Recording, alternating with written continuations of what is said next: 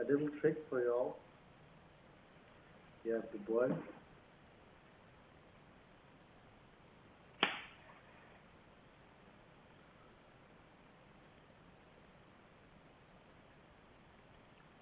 Energy comes from within.